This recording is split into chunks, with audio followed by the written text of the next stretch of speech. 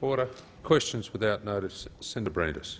Mr President, my question is to the Minister representing the Minister for Climate Change and Energy Efficiency, Senator Wong. I refer the Minister to the repeated warnings of BHP Billiton about the effect on the viability of the Olympic Dam project of the government's policies, and in particular the warning from the chairman of BHP Billiton, Mr Jac Nasser, who said on the 16th of May, quote, I cannot overstate how the level of uncertainty about Australia's tax system is generating negative investor reaction. People don't know where they are going." Unquote.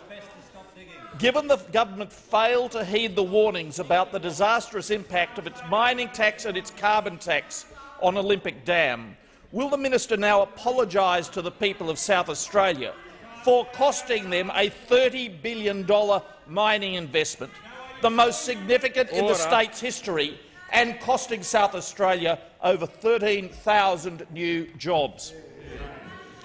Order. Order. The minister. Order. Order. The minister. Order. The minister representing the Minister for Climate Change and Energy Efficiency, Senator Wong. Thank you, Mr President. Well, I'm asked about Olympic Dam, and as a South Australian, I'm very happy to talk about Olympic Dam. I am somewhat surprised that no South Australian Liberal senator wanted to ask me about Olympic Dam. We have a Queenslander asking me. I am also, I am also asked about uncertainty. Well, let us be very clear that any uncertainty that is created in relation to the investment environment is because Tony Abbott, Mr Abbott, Mr Abbott is making clear he wants to remove he wants to remove a mining tax that the miners are prepared to pay. But I want to go precisely to the issue of Olympic Dam. I want to go Se precisely Senator to Wong, the issue Senator of Wong, Olympic just Dam. resume your seat. Resume your seat. Order.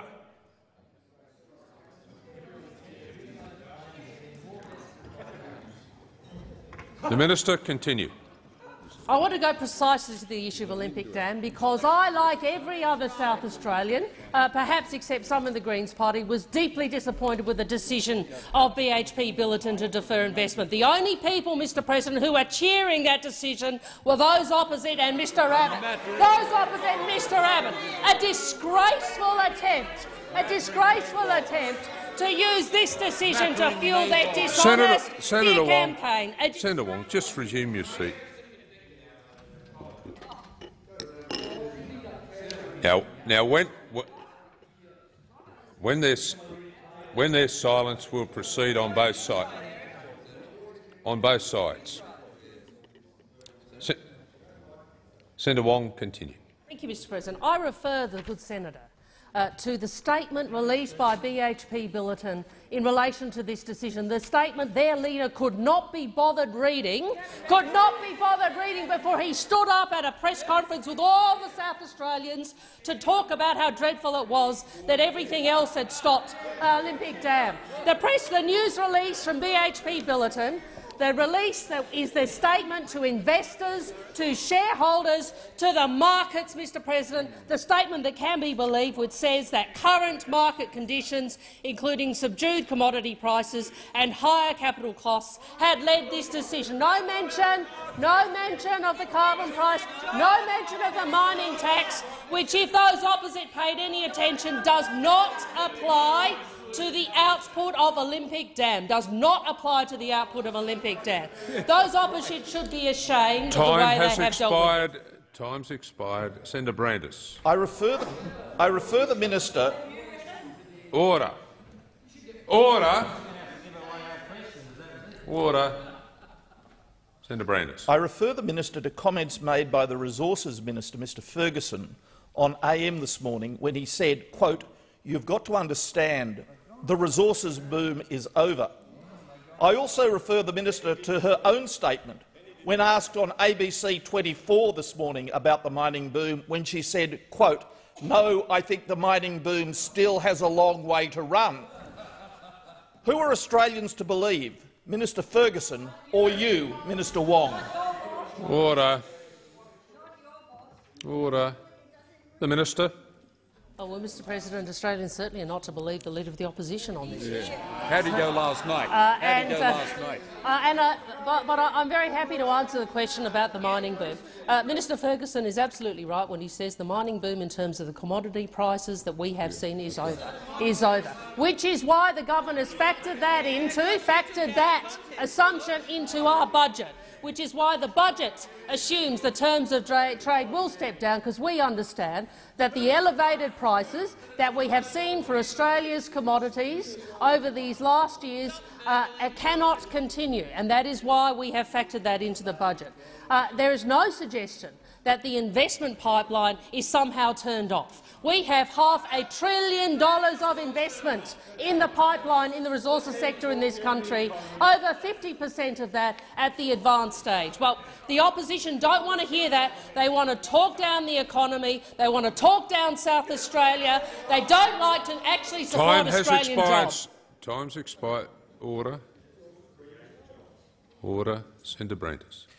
Given this government's addic addiction to new taxes, such as the carbon tax and the mining tax, ongoing division at the highest levels of the government, and contra contradictory statements by senior ministers about the future of the resources boom, what confidence can the Australian people have that the suspension of Olympic Dam won't be the first of many resources projects to be lost because of the uncertainty created, as Mr Nasser warned, by this high-taxing, confused and dysfunctional government.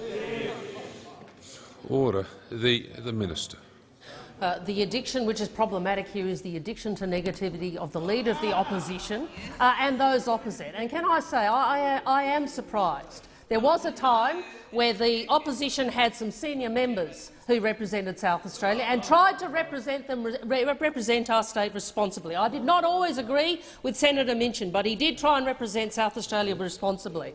But what we see now what we see now is the members from South and senators from South Australia jumping on board what can only be called a disgraceful self-interested scare campaign, where they are saying to people, ignore what BHP have said, Order. ignore what BHP Senator have Wong, said. resume your seat. Order. When there's, when there's silence, we'll proceed. Senator Wong, continue. The, the position of the opposition, Mr President, is this. Please ignore what BHP has told the market. Please ignore what BHP has told its shareholders. Please ignore what BHP has told investors, but let instead believe what Tony Abbott said on the uh, Order. 7.30 you need, report. You need That's to refer to position of people in the other place is. by their correct title. Se Senator, Senator Singh. Order. Thank you. Thank you, Mr President. My question is to the Minister for Broadband Communications and the Digital Economy, Senator Conroy.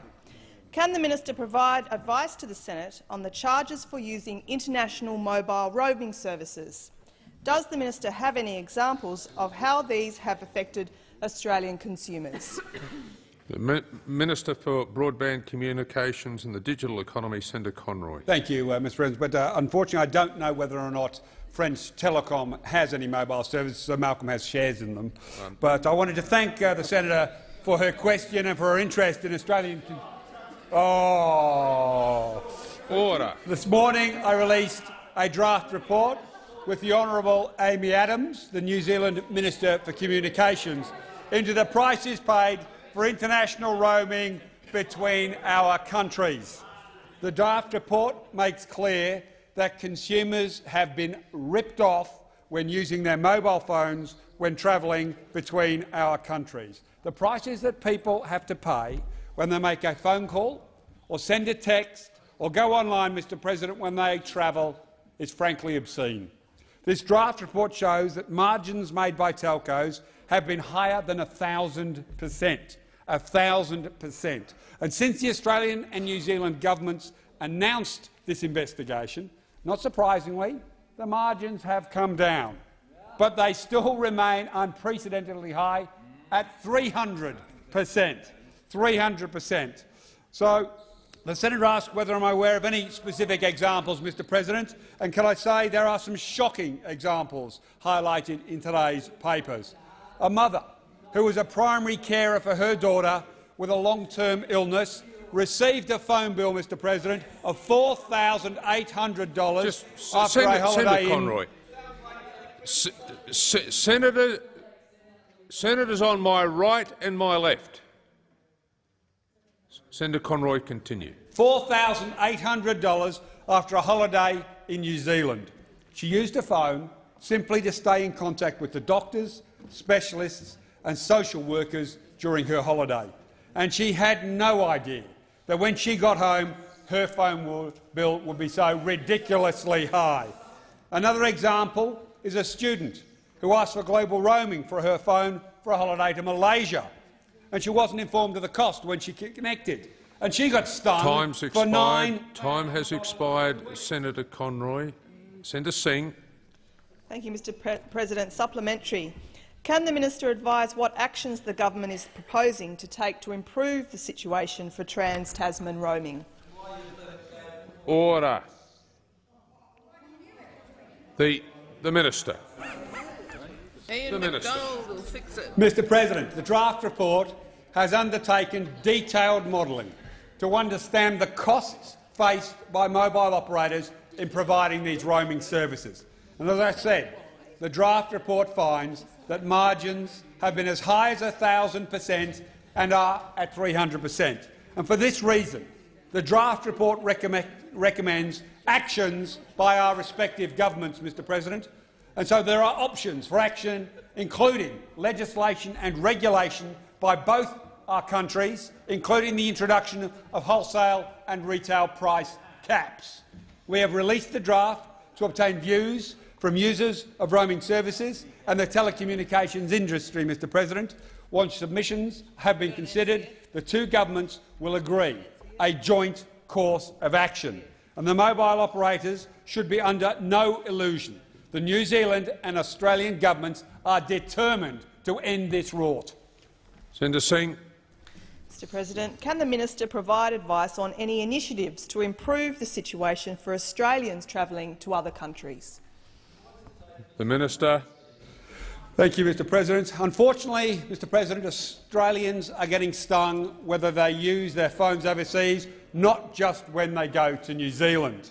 To address markets where we aren't able to introduce coordinated regulation, Senator Macdonald, I'm also directing the ACMA to make an industry standard, and this standard will ensure that Australians receive an alert on their mobile phone when they land overseas.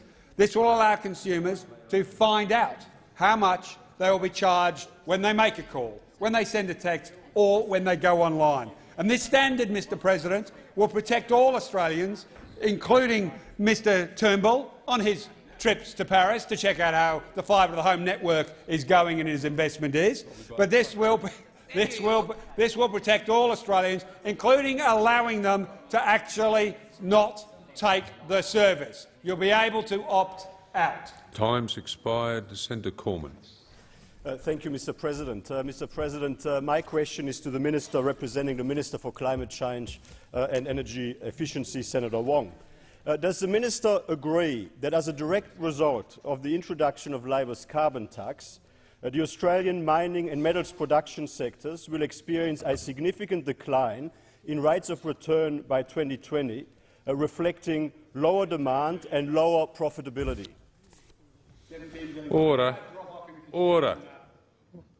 The Minister representing the Minister for Climate Change and Energy Efficiency, Senator Wong. Uh, Mr President, uh, there are a great many things uh, which affect uh, the mining sector, and uh, amongst those, uh, prim primary amongst those, is the prices that are paid by the world for commodities. Um, we've seen very high prices uh, for the commodities Australia exports, and that, that has obviously been a good thing for this nation. But as this uh, government has made clear, uh, the peak of the commodities price boom uh, has passed, which is why we are doing two things. The first, in a budgetary context, is to ensure uh, that the budget reflects the, the stepping down of the terms of trade, and it does. Uh, the, sec the, second is to ensure that you plan for beyond the boom uh, and that you in fact invest the boom wisely, uh, recognising that you have to plan uh, for beyond it. Uh, and for this reason, as you know, the government has a range of investments in place. Some of those have been in the tax reform space, uh, which included, for example, the company tax cut that Senator Cormann opposed, uh, but of course they include things like the loss carryback uh, regime, which will assist particularly small business, uh, as well as the instant asset write-off. Uh, in terms of Se Senator Wong, resume your seat. Senator Cormann. Uh, thank you, Mr. President. Uh, point of order in relation to the requirement for the minister to be directly relevant. Uh, there was a very specific question as to whether the minister agreed or disagreed uh, whether the carbon tax would lead to significant declines in rates of return. Now, uh, in order to assist the minister to be directly relevant, she might want to refer to page 152 of the government's own Treasury modelling into the carbon tax, where exactly that point is That's made. now debating the issue. There's no point of order at this stage. The minister has still 51 seconds. Order remaining to answer the question. The minister. Well, thank you, Mr President. In terms of uh, the point of order, uh, I think that Senator Cormann is now saying that we should rely on the Treasury modelling. Is that right? This is the same Treasury modelling. This Order. is the same Treasury modelling he's been saying for months and months and months that we shouldn't rely on. Now he says he should, we should rely on it. It's a little bit like his position on the mining tax, which on the one hand he says won't raise any money, but on the other hand will kill investment. Just wait. Well, just wait a minute, uh, Senator Brandis. Order. Senator Brand. Order. Order. Senator Brandis. You chastise Senator Cormann for debating the issue in his, in his um, uh, point of order. The minister is now debating the question. A statement was put to her. Senator Cormann helpfully provided the source of the statement. She is merely being asked whether she agrees or disagrees with that statement. You should bring her to the question in the time remaining. Order. The minister has 26 seconds. There's no point of order. The minister has 26 seconds remaining to answer the question. The minister. Thank you, Mr President. Uh, uh, again, uh, what I'd say is that one of the primary drivers of investment in this country is what is occurring on global markets when it comes to investment in the resources sector. And if, if the policy um, uh, issues uh, such as the mining tax or, or price on carbon uh, have the effect that the opposition says, one wonders why it is we have continued to see climbing investment in this country since they were announced, climbing investment in the resources sector Order. since they Time's were announced. expired. Order. Senator Cormann. Uh, thank you, uh, Mr. President. Uh, isn't it true to say that, consistent with the government's own Treasury modelling, uh, the government fully expected that its carbon price would cause, and I quote, a significant decline in rates of return by 2020 for Australian mining and metals production? Isn't it true that the same Treasury modelling of Labor's carbon price forecast a reduction of investment in coal mining of 12.8 per cent, a decline of investment in manufacturing of 3.1 per cent, and a decline of 2 per cent in investment in other mining by 2020. Order. The minister. Mr President, uh, uh, unlike uh, uh, Senator Cormann, uh, I don't uh, decide to adopt Treasury modelling one day and then discard it the next. Uh, it's, it's, I think it's fascinating. He's seeking to pin me down as a tricky question by saying, do you agree with this modelling that I've been saying for two years is wrong? Oh, do you agree with this modelling that I've been saying for two years is wrong and is not worth the paper it's printed on? I'd like to pr provide you with all the Hansard where you've said that.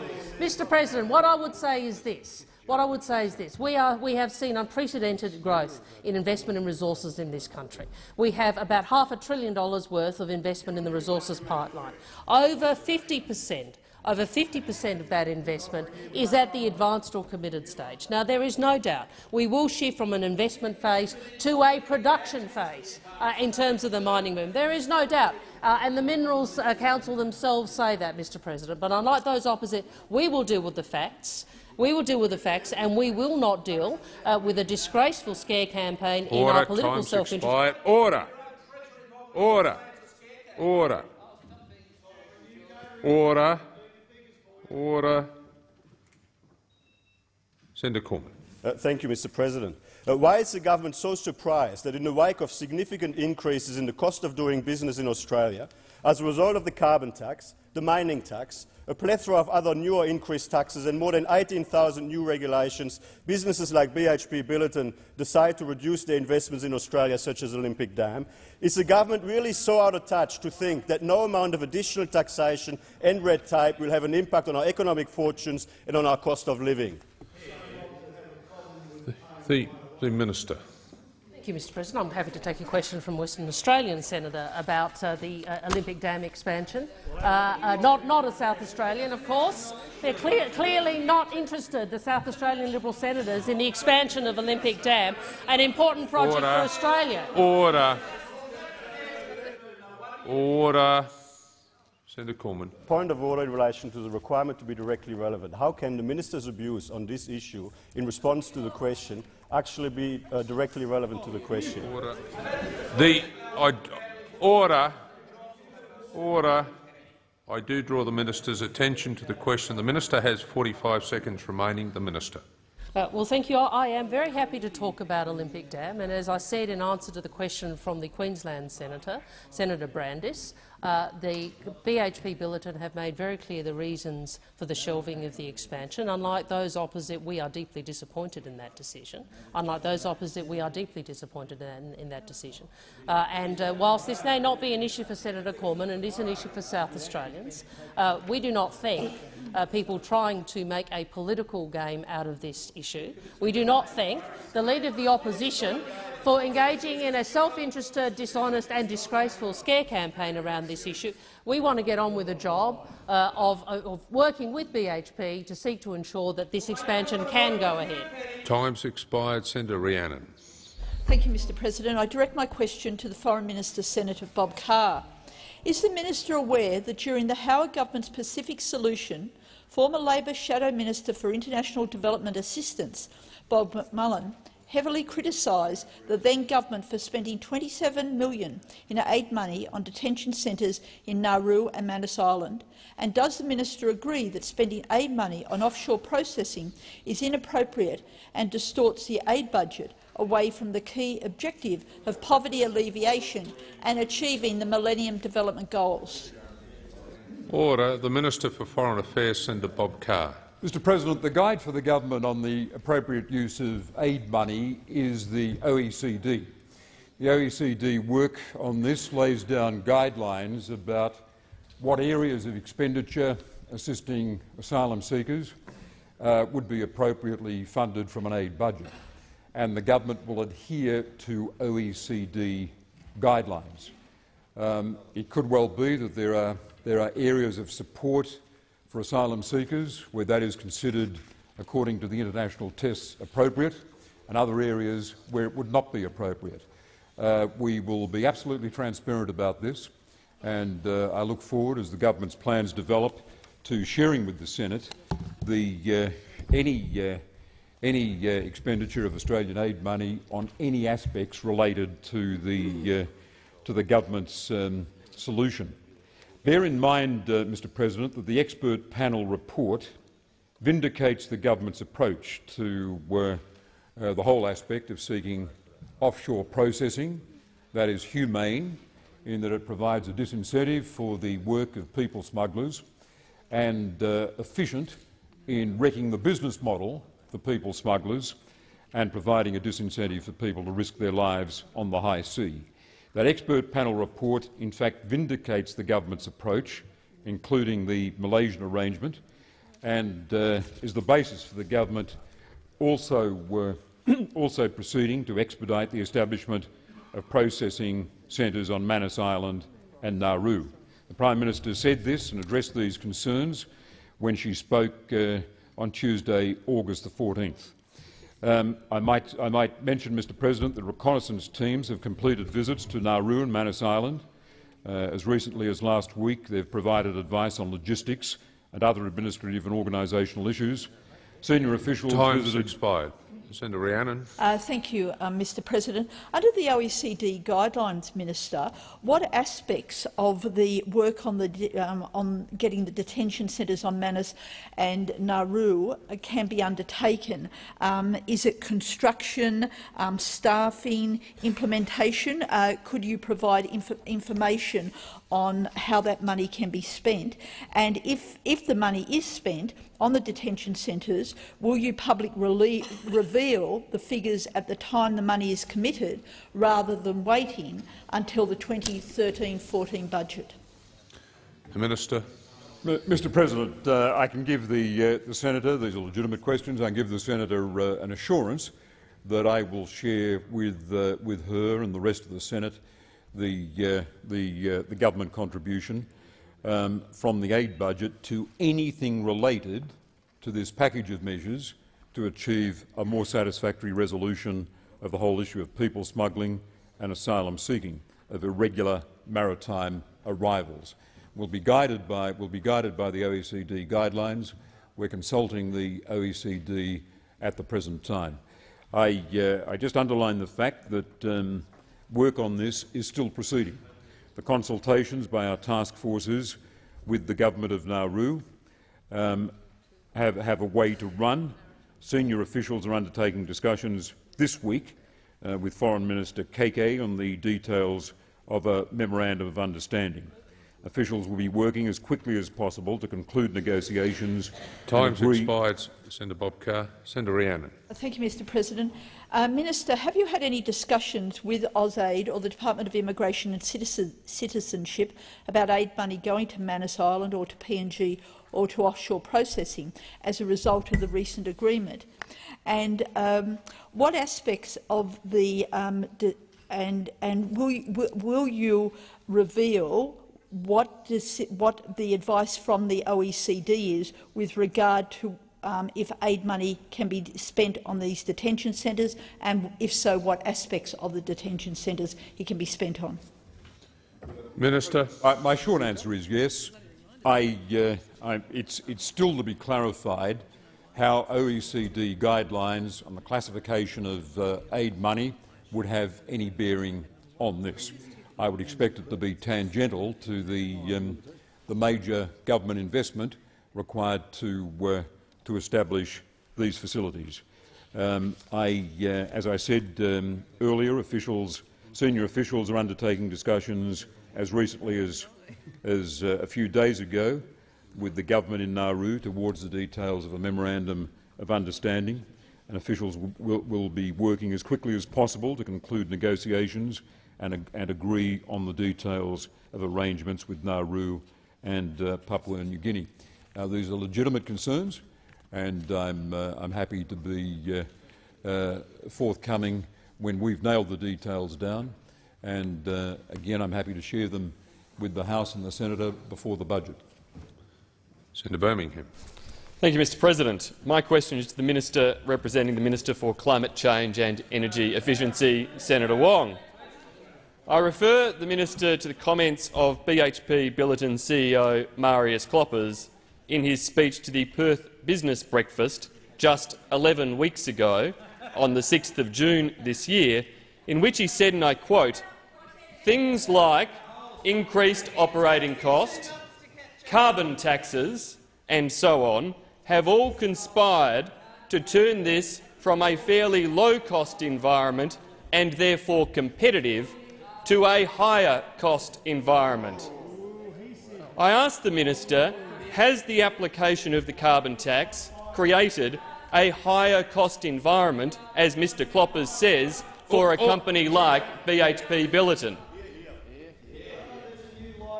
Order. Order. The Minister. Thank you, Mr President, uh, and uh, I thank uh, Senator Birmingham, who is a South Australian, for asking a question that's tangentially related to Olympic Dam. Third, third time lucky, Senator. Third time lucky shows how important South Australia is in the tactics room. Uh, I, am happy to discuss what uh, Mr. Dr. Kloppers has said. Uh, the first quote I'd give to you is this the South Australian Government, the federal government, all of the agencies that have worked with us to make this a reality have been absolutely wonderful partners to have, and I can't put that in more strong terms. The second point I'd make uh, is, uh, again, that the MRRT, of course, does not apply to the output from Olympic Dam. Uh, Order. The MRRT, well, perhaps you should let, let Tony Abbott know that, Senator. Perhaps you should let Tony Abbott know that, because he's the one that You need to refer to people Mr. in the other place by their correct title. Mr Abbott, uh, if the senator knows it doesn't apply, why does he stand next to the Leader of the Opposition while the Leader of the Opposition blames, amongst other things, the mining tax for the shelving of the Olympic Dam expansion? If you know it, why is it that you just stand by while he says things which are blatantly untrue? Order. I'm not surprised Order. you're standing up. Order. Order. Just wait a minute. Wait. You'll get the call when there's silence. Order. Order.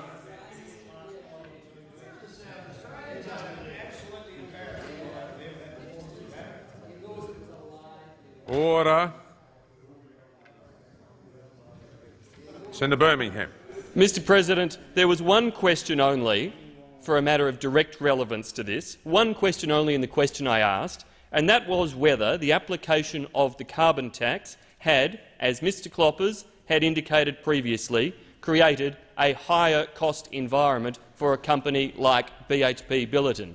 The minister has not come close to the carbon tax yet, and I would ask you to draw her to the direct relevance of the question. Senator Evans. Mr President, uh, the senator referred to uh, Mr Kloppers' uh, public comments and referred to the context of the uh, investment environment in Australia. The Senator Wong has been uh, responding to that directly by referring to uh, uh, other public comments of Mr Kloppers and referring to the investment environment, which has constantly been raised by those opposite, which involves also the uh, MRRT. So she is perfectly uh, relevant to the question and is providing a comprehensive answer to that put by the senator. There's no point of order. The minister has 57 seconds remaining. The minister. Thank you. I again refer um, Senator Birmingham to the statement that the Leader of the Opposition declined to read, which was the uh, announcement by Olympic Dam of this decision, in which uh, the, the, the, reasons for the decision were referenced. I'd also refer uh, the senator to uh, Mr Kloppers' statement uh, in his teleconference where he indicated that the decision was almost wholly associated with, in the first instance, capital costs, which is not only an Australian issue. He then also went on to describe the fact that the MRRT uh, does not apply to the output of Olympic Dam, despite the fact does, despite the fact that the Leader of the Opposition, including the Senator, uh, including the Senator, continue uh, out there in the public arena, continue, uh, continue to put this. And you know, if the Senator really was concerned about this issue, he should get on Adelaide Radio and contradict the Leader of the Opposition. Senator Birmingham. Thank you, Mr President. Supplementary question, and I refer the minister to the published NGERS data, which indicates that the different operating entities of BHP Billiton reported more than 9.5 million tonnes of direct emissions in 2010-11, a figure that could only go up had the Olympic Dam expansion proceeded. Even after the application of so-called free permits, wouldn't BHP Billiton face a carbon tax liability of tens, if not hundreds, of millions of dollars each and every year? Order. The Minister. Well, Mr President, self-evidently the Olympic Dam extension cannot be included in the figures that the senator has just put to me, self-evidently. Uh, and and uh, I'll take the interjection from Senator Brandis, who says it's not going to happen because of, uh, because of carbon. Well, what Senator Brandis, Senator Birmingham, Senator Brandis and Senator Birmingham are asking us to do is to, and all and asking Australians to do is to ignore the statement from BHP to the market to the stock exchange, to shareholders and investors about the reasons for this, about the reasons for this, and to believe their baseless, disgraceful fear campaign. That's what, you, that's what you're asking. That is what you are asking Australians to do. I am deeply disappointed with the decision not to proceed at this stage with the expansion of Olympic Dam. I am deeply disappointed. Those opposite Uh, those opposite are the only ones who are cheerful about this, Mr President. Those opposite are the only ones who are gleeful about this. Senator Birmingham. Mr President, second supplementary. I now refer the minister to the email to staff from Dean Dalla Valle, the president of BHP's uranium division, in which he described the cost of doing business in Australia as having reached a record high.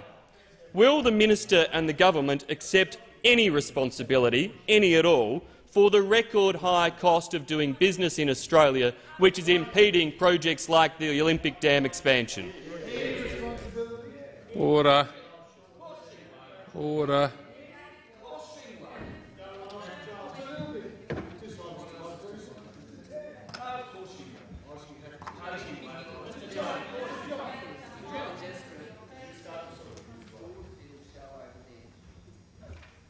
The Minister. Mr President. Well, uh, if the opposition are advocating for low wages and conditions, they should be honest enough to come out and tell people they are. They should be honest enough to come out and tell people they are. What I would say to the opposition is this. Oh, you don't like Sen- the truth, do Senator you? Wong, like the Senator truth. Oh, Wong, on. Senator Wong, Senator Wong, just resume your seat. Order, order.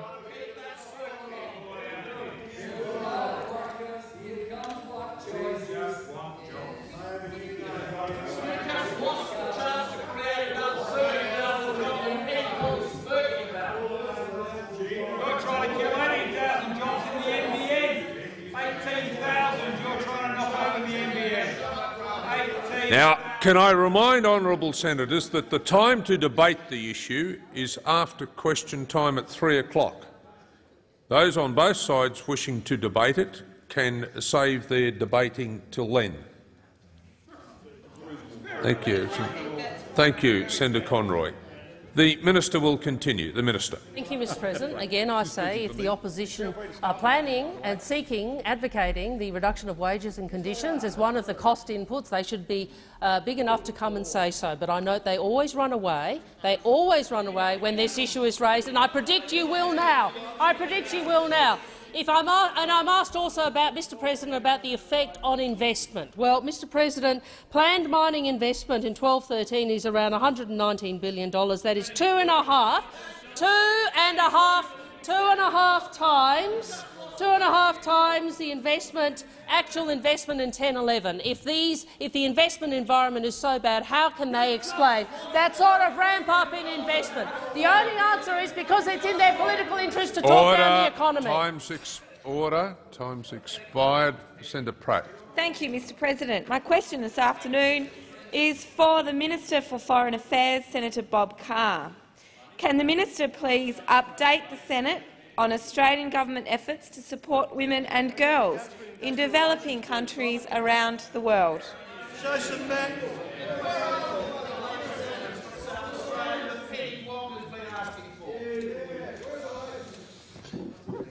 The Minister for Foreign Affairs, Senator Bob Carr.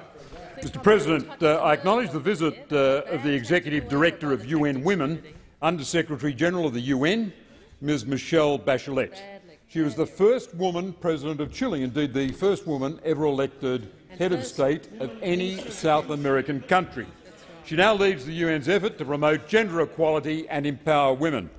Australia, I'm proud to say, all senators should be proud to acknowledge, is the fifth largest donor to UN Women, and we're on track to be the second largest donor by 2016, and we should be. In its 2012 World Development Report, the World Bank found that by eliminating discrimination against female workers, global productivity per worker could be increased by up to 40 per cent. That's why we are, in Indonesia, creating over 330,000 new primary school places, of which half will be for girls.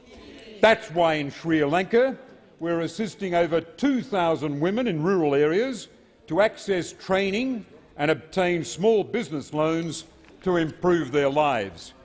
That's why in Papua New Guinea we've improved access to justice for women by increasing the number of female magistrates in the village court systems of that country from just over 10 seven years ago to over 600 today. From just over 10 to over 600 today. A terrific example of Australian aid at work promoting the position of women in, uh, in a developing country, in this case PNG. In Uruzgan province, Afghanistan, Australian Aid's provided basic health and hygiene education to 8,000 primary school students, 34 per cent of them girls. In Fiji, we've supported a new electronic welfare payment system that has assisted 17,000 people, 63 Time's per expired. cent of whom Senator Bob Carr. Senator Pratt. Thank you, Mr President. Can the minister further update the Senate on Australian government support for UN Women? Minister. Mr President, Australia is a committed supporter of UN Women. Today I announced a further Australian contribution of 6.7 million to support the work of this body. This is specifically targeted at funding refuges, counselling and legal support, for women driven from their homes by domestic violence. It will support women in Cambodia and Uganda who've suffered from revenge crimes like acid attacks for perceived slights. It includes counselling and support for women sexually assaulted in conflict zones, including in Liberia, where there is evidence where there is evidence of rape being used as a weapon of war during the civil uprising. It builds on other Australian initiatives, including doubling funding for family planning services in developing countries to 50 million a year by 2016 to prevent unwanted pregnancies and save, it's estimated, around 200,000 lives. Expired. Senator Pratt. Mr President, can the minister update the Senate on Australia's efforts to stop violence against women in developing countries? Minister. Mr President, the Australian community has zero tolerance for violence against women. AusAid is working with our partner countries to eliminate violence against women. In Papua New Guinea, we've established family support centres in 11 hospitals offering treatment, counselling and referral services for women and children subjected to violence. In Fiji, we've recently provided counselling and support services through the Fiji Women's Crisis Centre to more than 3,700 women who have been subjected to violence. In Cambodia, we've helped train more than 20,000 people to take part in, in community crime prevention activities, and that includes awareness of violence against women. The Australian government will continue to focus on ending violence against women and girls in developing countries. And I might say what a great pleasure it was today to discuss these matters uh, with Michelle uh, Bachelet, a great Time champion has of women's expired. rights. Senator Bernardi. Thank you, Mr President. My question is to the Minister representing the Minister for Climate Change and Energy Efficiency, Senator Wong. I also refer the Minister to the decision by BHP Billiton to indefinitely defer the $30 billion Olympic Dam expansion, which sees 13,000 potential new job opportunities in South Australia indefinitely deferred. Given this is a devastating blow to South Australia, can the minister categorically rule out the carbon tax, the mining tax, increased union militancy or the axing of the promised company tax cuts as playing any role in making the Olympic Dam expansion a less attractive proposition than would otherwise have been the case? Order. Um,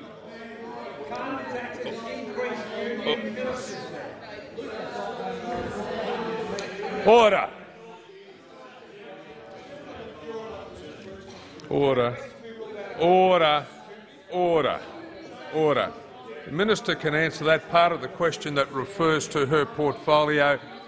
The minister representing the Minister for Climate Change and Energy Efficiency, Senator Wong.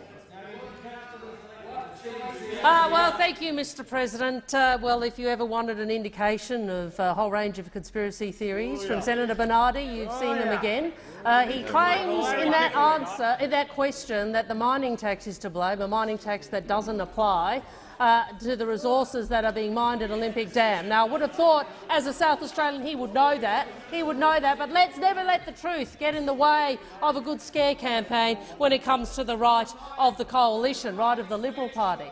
Uh, I also note his reference to union militancy. I, I, have no idea what he is talking about, other than, other than perhaps uh, the agenda from the coalition, which they refuse to confess, on, which is a, they want a reduction a in wages and conditions. That's what they are really talking about, Mr. President, when they come when they come Senator and Wong, here and talk about resume militants. your seat. Senator Bernardi is on his feet.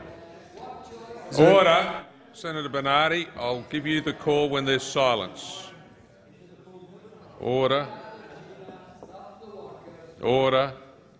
Senator Bernardi. Mr President, um, my point of order is on relevance. I asked if the minister could categorically rule out any number of factors in determining BHP's uh, decision and in respect to union militancy, might I remind the senator, it was probably when she was storming the gates of Parliament House before she was a senator, is the sorts of unattractive union activities that we like, don't like. There's no, there's no point of order there. The minister is addressing the question. The, the minister has one minute eleven remaining. The minister. Order. Uh, Mr. President, uh, the decision. Order. Thank you. I think that was actually my own side, Mr President. So, uh, the decision to uh, sh uh, uh, shelve the Olympic Dam expansion was for the re was was for the reasons set out uh, in BHP's well, was for reasons uh, known to the BHP board, and the reasons that they have advised the market are the ones to which I have referred on numerous occasions already in this question time. Already in this question time. And if the senator does care about job opportunities in South Australia, he should get up and support the investment in, in Holdens, which his party opposes, the investment in Holdens, which your party opposes, the investment in the submarines, the investment in the submarines, the largest defence project in Australia's history, which Mr Hockey says he doesn't want to build in Adelaide, he's not interested in putting them in Adelaide, and he should get up and oppose the per capita GST distribution, which would cost our state a billion dollars that Mr. Mr. Abbott has said he thinks is, uh, is a sensible way to go. That's, that's what the senator should do if he really cares about the economy Time of his home expired. state of South Senator Bernardi. Senator, Ta relevant to. Senator Bernardi. Thank you, Mr President. I refer the minister to the statement issued yesterday by BHP Billiton, in which CEO Marius Kloppers is quoted as saying, and I quote, all investment options are scrutinised as they move through our approvals process. Just, Sen Senator just wait a minute. You're entitled to be heard in silence. Would you Senator like me to start again, No, you just continue. Order. And, and, and he finished Order. Order. Order.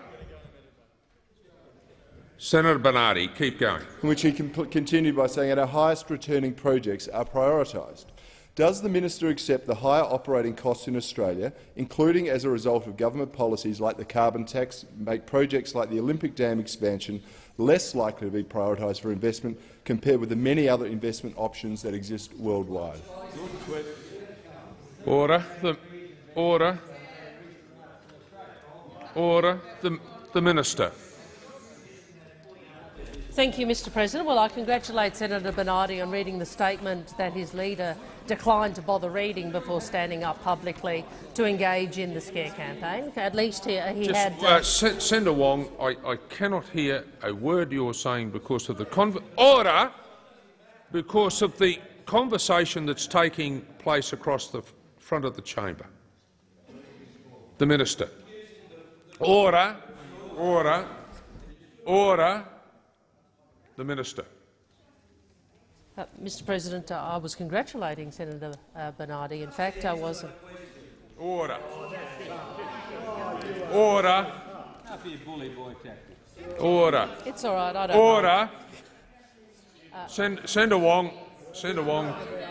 I was in fact uh, congratulating Senator Ber Bernardi for for, for, uh, for actually reading the statement, uh, and I'd refer him to the, the, the, paragraph, two paragraphs prior to the one he read out, uh, in which uh, the, Mr Clopper said current market conditions, including subdued commodity prices and high capital costs, had led to the decision.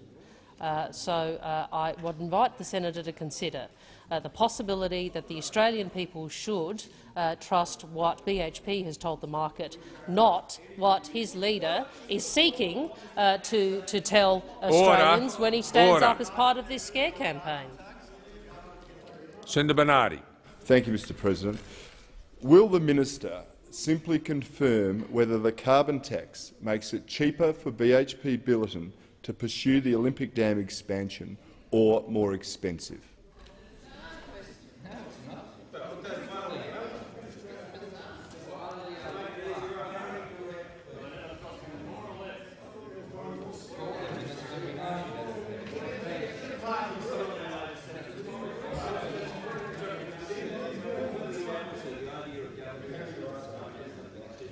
Now, when there's silence, we'll proceed. The minister. Th thank you, Mr President. Uh, uh, the uh, implication of the question is quite clearly, again, the same position that has been put by uh, coalition senators. Order. Order. The minister. Continue. It's the same proposition that the coalition have continued with in this uh, question time as they have, as they have. Order. Uh, minister. Ignore the minister. Ignore the interjections. They're disorderly. Order. Order. Min minister. Address. Just make the point that calling on the minister to ignore the interjections is difficult when they are persistent, loud, and uh, and and made by a whole number of senators uh, on the coalition side. So I think it's fair for the minister to pause while she can uh, hear herself and the rest of the chamber can hear herself over the shouting. So I suggest that uh, the minister is entitled to pause until there's some order in the, in the chamber. The, min the minister is given a order. See, the problem, the problem that we've got, Senator Cameron, is that the interjections come from both sides, and they are disorderly on both sides. The minister will be heard in silence. The minister is entitled to be heard in silence, and if you wish to debate the issue, the time to debate it is after question time. The minister, continue. Thank you, Mr President. Uh, uh, I, I again refer the Senate uh, and Senator Bernardi to the statements issued by BHP Billiton to the market, shareholders and investors, which put very clearly uh, the reasons they have chosen to shelve this expansion. Uh, I would, uh, well, you know, Senator Birmingham Order. desperately interjects Order. saying some of the reasons. I what he is actually saying is ignore what BHP is saying and listen to me. Ignore what BHP is saying is listen to me, as is Senator Bernardi. Mr President, Mr President, since the carbon price and mining tax were announced, we have Order. seen continued Time has expired. Order. Order. If you wish to debate the issue, as I've said before, the time is after three o'clock. Order. Senator Xenophon. Thank you, Mr President. My question is to the Minister representing the Minister for Health, Senator Ludwig. Uh, it is common practice for private health funds to pay less to private hospitals in South Australia than they pay for the same procedures elsewhere in Australia. The Private Hospital Data Bureau Annual Report 2010-11 reveals that if all the care undertaken in South Australian private hospitals had been priced at the national rates, the revenue returned to South Australian private hospitals would have been 17 per cent or $75 million higher. Is the minister aware of this, and if so, can the minister provide information on any action the government has taken or is planning to take to address this apparent disparity and the immense pressure it is placing on South Australian private hospitals? The Minister representing the Minister for Health, Senator Ludwig.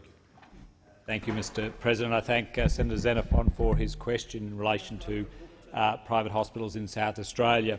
Uh, I understand that Minister Plibersek is aware uh, Uh, of uh, this uh, issue. I understand that uh, she does and has been corresponded to uh, in respect of it.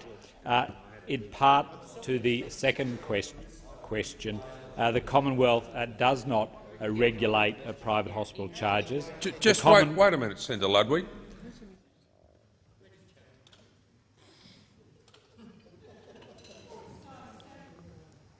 Senator Xenophon is entitled to hear the answer to his question and not have people immediately to his left and right debating other matters across the chamber. It's completely disorderly. Senator Ludwig, continue. Uh, thank you. The Commonwealth does not regulate private hospital charges. The Commonwealth does regulate private health insurance benefits. Private hospitals are free to set their own charges private health insurers and private hospitals commonly a contract for the provisions of services and accommodation, and these are commercial decisions negotiated between the party. The government does not have any regulatory power to force the parties to agree to particular levels uh, of benefits payables. Hospital case mix protocol data shows that about 98.1 per cent uh, of private hospital episodes and about 92 per cent of day surgery episodes uh, were contracted. So the vast majority uh, of these are contracted uh, directly. With regard to South Australia, it, it, can be noted that the data released by the Private Health Insurance Administrative Council indicated that out-of-pocket costs are lower uh, in South Australia for a hospital episode than in any other state.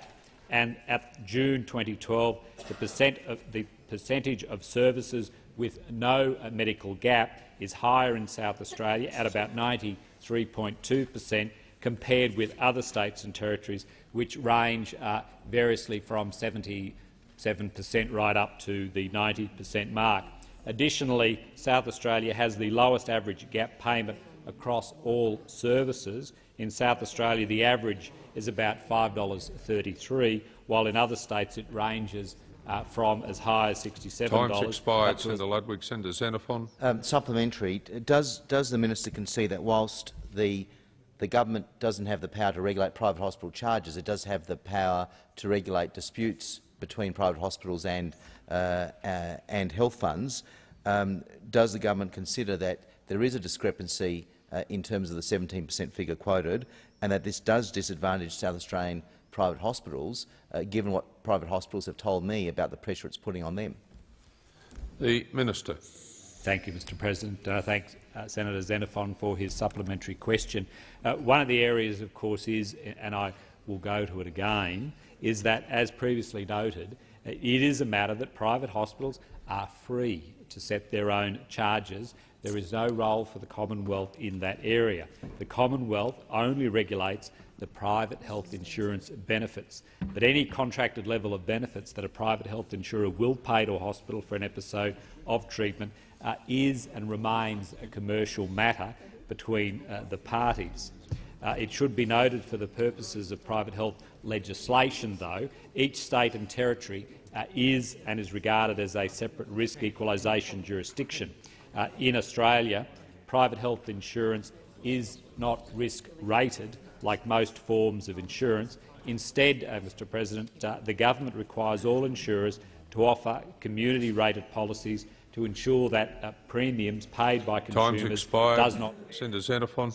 Does the minister not concede that uh, private hospital um, charges are in part uh, related to the amount of, uh, amount of funding they get from private health funds, and can the minister provide payments uh, information on this on whether there is a discrepancy between Medibank Private to South Australian private hospitals and what Medibank Private pays to other private hospitals in the rest of the Commonwealth. Minister. Uh, thank you, Mr President. Uh, thanks, Xenophon, for his second supplementary question. Uh, if we do uh, go to a Medibank Private, I can remind uh, Senator Xenophon and the Senate that they are commercial arrangements that Medibank Private and uh, would have with relevant uh, hospitals, uh, because uh, Medibank Private is uh, a government-owned enterprise, but as a commercial entity, it does operate, and I'm sure Senator Xenophon would be familiar with this, at arm's length from government, ensuring that there is a level playing field with other private health insurers. However, it is, and I do understand that Medibank has offered to brief uh, Senator Xenophon about uh, these operations. I'm certainly will take any part of that question uh, today that have been uh, put to, uh, to Minister Plibersek in respect of this matter for uh, her to see if she wants to provide any additional information in answer to it. and, Order. And Time's expired. Senator Abetz. thank you, Mr President. My question is to the Minister for Foreign Affairs, Senator Carr. I refer the minister to coalition questioning by Senators Ronaldson and Kroger at Senate estimates on the 31st of May about AusAid funding paid to the Union of Agricultural Work Committees, an organisation which has been accused of having links with the proscribed terrorist organisation, the Popular Front for the Liberation of Palestine. In particular, I refer the minister to his insistence that this organisation is registered in Israel as a not-for-profit organisation, a registration he pointed to as having been renewed on the 5th of March 2012. What due diligence was undertaken and by whom to confirm the true identity of the organisation repeatedly referred to by the minister as being registered in Israel as a not-for-profit? The Minister for Foreign Affairs, Senator Bob Carr. Well, well, Mr President, I'm very happy to research that and provide the Senate with further information. But I'm in a position to say to the Senate, in Israel a little over a week ago, I had a meeting with the President. I met with the Prime Minister in the Knesset for over an hour. I met the Defence Minister for over an hour. I met, I met the leader of the Labor Party in the Knesset. I met several other members of the Knesset, and, and, and I met senior people in intelligence. And so, so concerned are they with the matter you raised that not one of them even made a passing reference to Australian aid going Surely allegedly, not. allegedly to an organisation tainted Surely with not. terrorist support. I could not. I met. Uh, I met a prominent uh, Australian Israeli citizen. I met at his home another minister in the government. Surely not. I met. I met uh, columnists and commentators, and nowhere during this visit Nowhere. was this suggestion made that Australia has somehow done the wrong thing in providing a bit of aid to an organisation that in the impoverished Gaza, ah, in the impoverished Gaza, provides Palestinian families with seedlings so they can grow their own vegetables. So they can grow their own vegetables. That's what it does. That's what this malign organisation does. And, and who, who heads the Australian organisation through which this support is provided? Who heads it? Who heads it? Well, I'll give you a clue. His brother, an eminent, an eminent Christian, his brother was, for a time, the Time has treasurer of the expired. Order. Time's expired. Time's expired. Order. Time's expired. Senator Bob Carr, resume your seat. Order. Uh, now, when there's silence, we'll proceed. Order. Order. No. The noise will cease because Senator Abetz is entitled to be heard in silence. Order. Senator Abetz. I assume the minister has taken the question on notice because he did not answer any aspect of it. The supplementary is I refer the minister to the registration renewal purportedly for the Union of Agricultural Work Committees, which AusAid has now released under Freedom of Information. Is the minister fully satisfied that the Union of Agricultural Work Committees and the organisation to which the minister referred registered with the Israel with the Israeli not-for-profit registry are actually one and the same? The minister. Mr President, so the proposition of the opposition is that we should withdraw aid, we should withdraw aid from an organisation that is allowed to exist and function Senator, in Senator, Israel. Senator, Senator Bob Carr, you need to come to the question. Senator Carr. Mr. President, Mr. President, I'm, uh, I'm, I'm addressing the question. I'm addressing the question, and in put, put, putting this, putting this, this information in, in, in context, it is highly relevant, highly relevant that the same charity, the UAWC, is supported by that hotbed of terrorism, the government of the United Kingdom, by Italy and Belgium, by the government of Japan and the European Union. They all provide funding to the same charity which provides foodstuffs and seedlings to families in Gaza. So all those countries, all those countries, Or, European uh, Senator Union, Bob Carr, just resume your seat. Order. Resume your seat. Senator Brandis. Order. Order. Senator Brandis. Thank you, Mr President. You did draw the minister's, minister's attention to the question. He did ignore you. With eight seconds to go, he should be drawn once again to the question, which was whether the minister was satisfied that two similarly named organisations were one and the same. That is the only thing Senator Abetz asked. Order. Senator. Oh, order. Senator. Senator Evans. Mr President, on the uh, point of order, there's no point of order. Senator uh, uh, Bob Carr, in answering the question, in his first statement to the primary question, indicate that he would attempt to respond to any of the detail in the senator's question, but then set out some context about the particular organisation and Australia's uh, relationship with that. And in this, in this supplementary answer, he is providing further information as to what other countries are uh, providing support to this organisation, which is directly relevant to the question that Senator Abetz asked. The, the order. There's no point of order at the, min at the minister. You've got eight seconds remaining.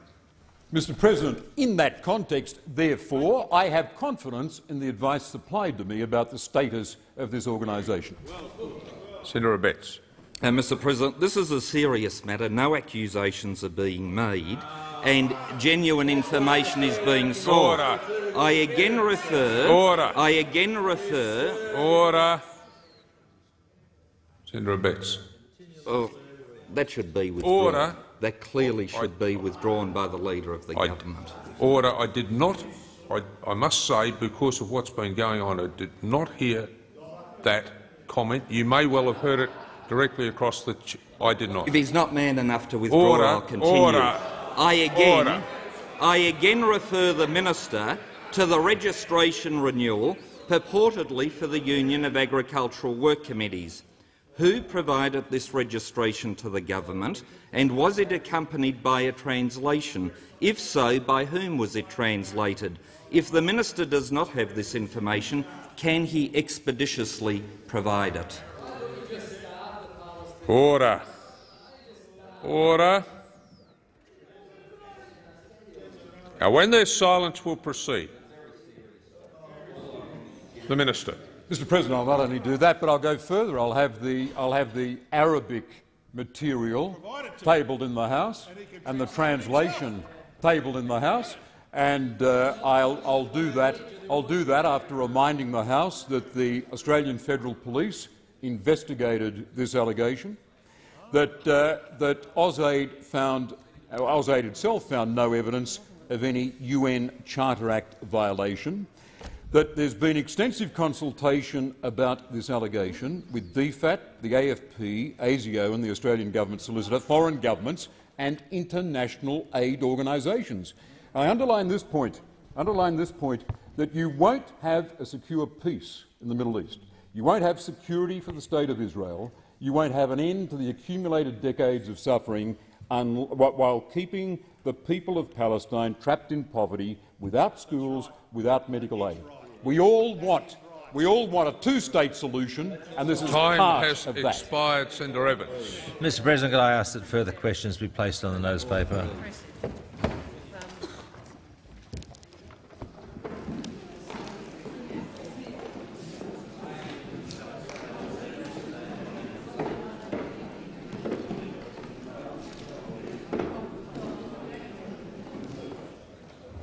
Are there any motions to take note of answers? Senator Bernardi. Thank you, Mr Deputy President. I rise to take note of answers given by Senator Wong to questions asked by Senators Brandis, Cormann, Birmingham and Bernardi. Mr Deputy President, there are times when one can be slightly embarrassed for their fellow senators. Today was one of those times for many South Australians, and that's because during Ms Wong's bilious diatribe against the coalition side who asked some genuine and probing questions in regard to, to Olympic Dam and the decision by BHP Billiton to delay uh, or to stop any further investment of expansion of that. She mocked and derided the fact that only two South Australian senators asked her questions about it. Well, let me just say this, Mr Pre Deputy President. Not one single Labor or Green senator asked any questions about the, perhaps the most profound uh, economic decision by a single company in my state's history. Not what, in, probably in Australia, as Senator Edwards says as well. And in fact, you can perhaps excuse the Greens at some level, because yesterday, as a $30 billion investment in South Australia that would have generated hundreds of millions of dollars worth of proceeds to government, led to tens of thousands of jobs and 100 years of economic prosperity, according to the former Labor Premier of South Australia, the Greens cheered They cheered at the delay of it. They cheered because it wasn't proceeding. It was one of the most nauseatingly uh, self-serving cheers that I've ever heard in this place, followed only by Senator Wong's triumphant sneering that you know, South Australians on this side of the chamber weren't asking questions. Well, not one Labor senator did either, and that is a shameful fact for all South Australian senators on the other side of the chamber. And I know there's one, two of them sitting here now ready to defend you know, their, their minister, whom secretly they can only be embarrassed about, as the rest of us are. Because the embarrassment is compounded by the complete lack of a coherent or thoughtful or considered response by the minister. Now, Minister Wong. Now, we have on this side of the chamber had four years' worth of experience as Minister Wong has um, plotted through a number of portfolios and without distinction. But today was shameful because I asked a very simple question, Mr Deputy President, a very simple question. Will the minister simply confirm whether the carbon tax makes it cheaper for BHP Billiton to pursue the Olympic Dam expansion or more expensive? I only met with abuse. I only met with abuse because Senator Wong wasn't prepared to answer the question. Now, this should concern all of us, because not only is this chamber meant to get answers to very straightforward and simple questions, it is a question that the minister has spent four years preparing herself for. Four years. She went to Copenhagen as the climate change minister. She stood by as her, her prime minister you know, told an abject um, and willful lie to the Australian people before the election. She's defended the breaking of that promise before the election. She's scrapped the Citizens' Assembly, the cash for clunkers and everything else. She said, you know, she stood by and celebrated as, you know, the head of this workers' union, uh, Paul Howes, said not one single job will be lost because of this carbon tax. Not one single job. He put his house on the line. But we know, we know all about houses in the Australian Workers' Union, don't we, Mr Deputy President? We know all about that. It wouldn't be his house, it would be someone else, some poor, poor flunky who's been paying his union dues for all these years would have been subsidising this house through one of these slush funds that, according to the Prime Minister, might I say, who was young and naive when she said it, according to the Prime Minister, said all union bosses have slush funds for their re-election. Uh-huh. All of them. And we're about to hear from a couple in a moment. I can tell you, Senator Farrell there for a start's going to get up. Maybe he can enlighten us about that and his credit card usage himself. But listen, I, yeah, that's exactly right. Senator Farrell, have you ever had Bill the Greek come and do a fence for you? That's what we'd like to know. But, Mr Deputy President, it is, this is perhaps the most significant thing that's happened in South Australia the most significant thing, because a lot of South Australians have got behind this project. And for, to have it dismissed in such a cavalier manner, when this is so clearly an impact of Australia becoming a high-cost jurisdiction. And you cannot dismiss the fact, no matter how polite BHP Billiton may want to be because they're scared of the retribution of this vindictive and nasty government, but no matter how polite they want to be, the fact is if if wage costs are going up, if the cost of capital is going up, if you've got additional taxes, mineral resource rent taxes, and you've got carbon taxes being imposed, the cost of the Olympic Dam expansion is going to go up as well. And they've simply made a decision with a limited amount of capital, we can invest it where we'll get the best return. Unfortunately for all South Australians, it's now going offshore thanks to this government. Thank you, Senator Bernardi. Senator Farrell. Thank you, uh, Deputy President. And uh, if I can just deal with that last point uh, first, uh, the high costs that uh, uh, Senator Bernardi refers to in terms of um, mining, mining costs in Australia. Um, the fact of the matter is that the reason that wages have gone up in the mining industry is because there's been a mining boom. that's what's pushed up the cost of, cost of labour in, the, in the mining industry. We've, we've, had, we've had the largest the largest mining boom uh, in, our, in our history. And that, of course, has been good for the country, um, but um, it does have an impact. It does have an impact, and of course it's had some impact on uh, the Olympic Dam uh, development. Now, what worries me and what uh, I'm concerned about in terms of uh, Senator Bernardi's response, of course, is the, the delight that he appears to exhibit uh, in the fact that this particular development has not been proceeded with at this stage. And he says, he says, he says, he, he, said, he says that as a South Australian senator, I should be embarrassed about the performance of Senator Wong. Now, now, now, I have, I have never been, I have never been Uh, I have never been embarrassed about the performance of Senator Wong, uh, and I certainly was not embarrassed uh, about uh, her performance today, because she's a great minister. She's a great minister. No, it does say a lot about me. Uh, but if I was Senator Bernardi, if I was Senator Bernardi and Mr Abbott was my leader, I can tell you what, I would have been embarrassed. I would have been significantly embarrassed about the performance that he delivered on the 7.30 report uh, last evening. Now, let's go, let's go back. Yes, I'm coming. I, I would have, if anybody's going to be embarrassed in this debate, Senator Bernardi, it's going to be you and your party about Senator uh, uh, uh Mr Abbott's uh, performance. Now, let's go back to yesterday afternoon. What did Mr Kloppers say was the reason for uh, not proceeding at this stage, at this stage with the uh, Olympic? Um, what? What? I mean, look. I mean, the fact that Senator Bernardi continues to interrupt. Um, the or, fact that order, Senator, Senator Bernardi, order. You've had your turn. Senator Farrell, you have the call. Thank, thank you for that protection, uh, uh, Dep Deputy President. Thank you for that protection. Um, what, what, did, what did Mr Kloppers say was the reason? He talked about uh, current market conditions, including uh, subdued uh, uh, market prices. One of the things he didn't talk about as um, the implication for um, uh, not proceeding was the, the mining tax. Um, the reason, of course, he didn't talk about the mining tax um, was because he knew what Mr Abbott didn't know uh, when he gave that 7.30 report uh, uh, interview last night. Um, what is Olympic Dam? What, what sort of mine is it? It's not a coal mine. It's not an iron ore mine.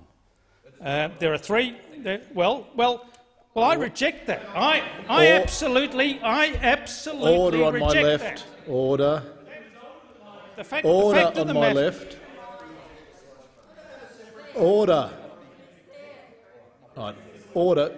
Just, just before I call you Senator Farrell, order on both sides of the chamber, especially on my left. Uh, Senator Farrell's entitled to be heard. Senator Farrell, you have the call. Thank you, Deputy President. Uh, um, Olympic Dam is a great project in South Australia. It continues, it, it, continues to be a great project, and one of these days, one of these days, one of these days, that project uh, will continue um, uh, to expand. Okay, the the fact of the matter is, the fact of the matter is that dam continues, uh, Olympic Dam continues to uh, employ uh, people in South Australia.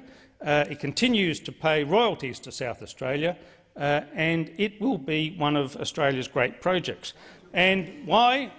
What I don't understand is, um, after, after what uh, Mr Kloppers said very clearly uh, yesterday afternoon, is why Mr Abbott went on the 7.30 report last night and when asked a very clear question, have you actually read BHP statements, Mr Abbott said, no, no I haven't. So there he is, there he is, Mr Abbott, Mr, Mr Abbott goes on uh, national television last night to, to exploit to exploit the fact Order to exploit the fact that uh, we've had this disappointing news. True, it is. Senator Farrell, resume. Senator Birmingham. Mr Deputy President, I think Senator Farrell is at serious risk of misleading the chamber by very selectively quoting uh, no, the Leader of the no Opposition's of order, answer Birmingham. to questions he was asked last there is, night. There is, no, there is no point of order. That's debating the issue. Senator Farrell, you have the call. I'll respond to that, uh, Deputy President. I'll read out the entire, I'll read out the entire uh, quote from last night. This is, this is Sales's question.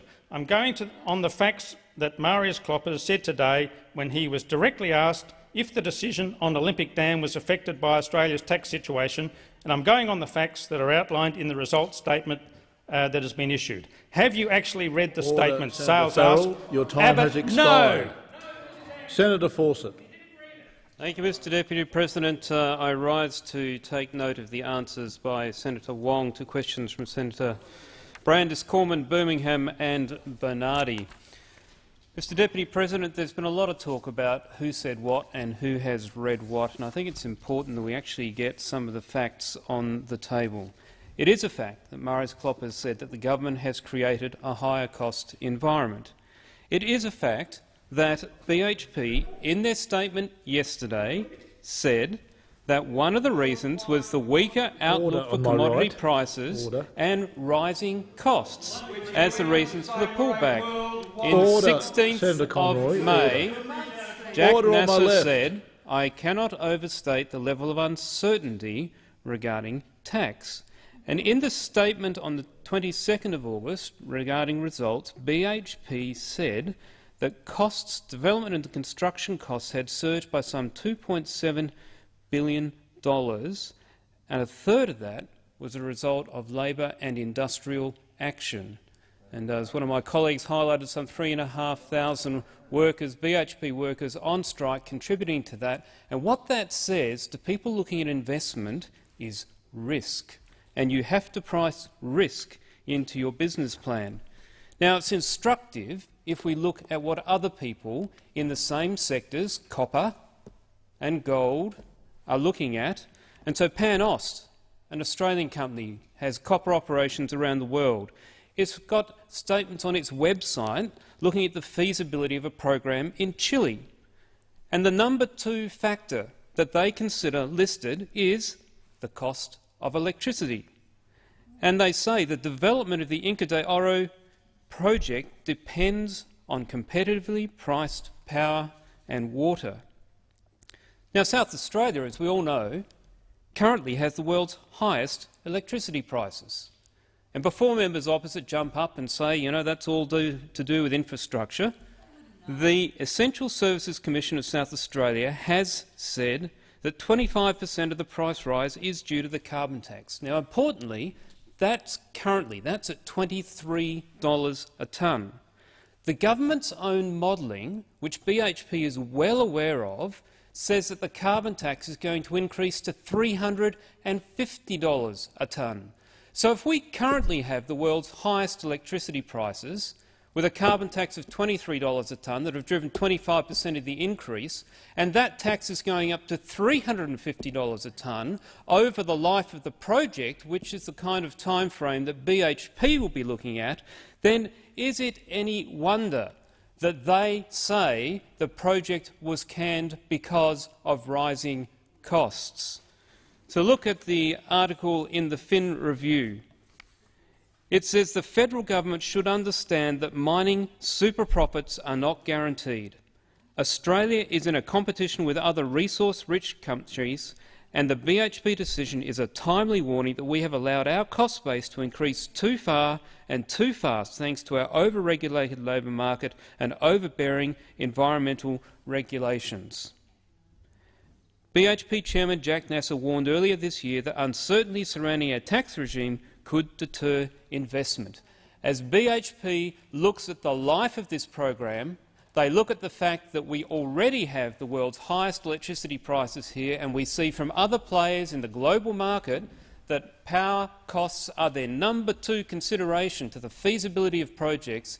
Is it any wonder that BHP in their statement quoted rising costs as one of the reasons that that would be canned when this government is on track to raise the price per tonne of carbon from $23 to $350 in the future. It is a shame that this government doesn't think more about the future of South Australia, about the future of our children and their jobs and our economy than it does about the future of their current parliamentary term in coalition with their alliance partners, the Greens.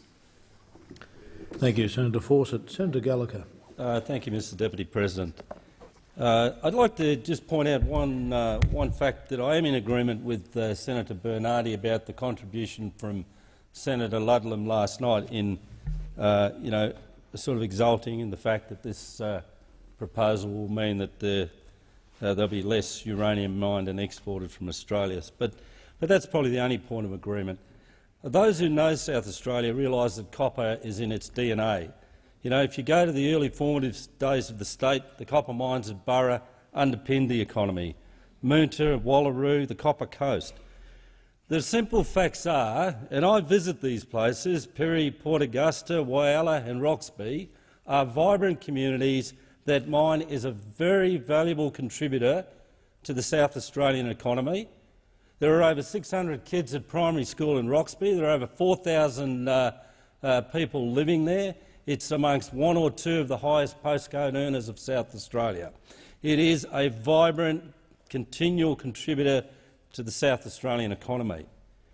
The fact that it was going to undergo a tremendous multi-year development stage was muchly anticipated by all of the surrounding communities and all of the people in South Australia.